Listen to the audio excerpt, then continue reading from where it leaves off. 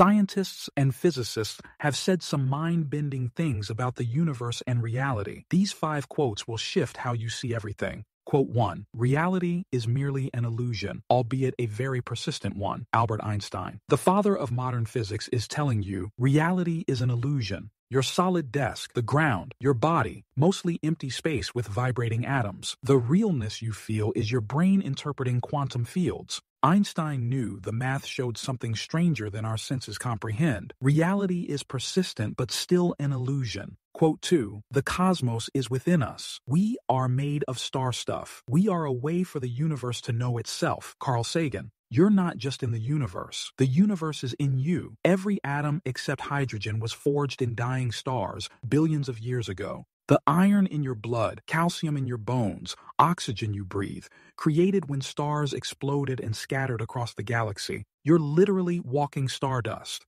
and you're the universe experiencing itself, thinking about itself. Quote 3 The universe is under no obligation to make sense to you. Neil deGrasse Tyson. You expect the universe to follow human logic, but quantum mechanics says particles can be in two places at once. Relativity says time moves differently depending on speed and gravity. The universe doesn't care if this confuses you. It operates by its own rules. Your inability to comprehend something doesn't make it less true. Quote 4 Not only is the universe stranger than we think, it is stranger than we can think. Werner Heisenberg. One of the founders of quantum mechanics is saying the universe is so weird that human brains may be fundamentally incapable of understanding it. We evolved to hunt and gather. Our brains weren't designed to comprehend quantum superposition or space time. There may be aspects of reality beyond human cognition. The universe might operate on levels we can't imagine. Quote 5. We are all connected to each other biologically, to the earth chemically, to the rest of the universe atomically. Neil deGrasse Tyson. You share DNA with every living thing. You share chemical bonds with the planet.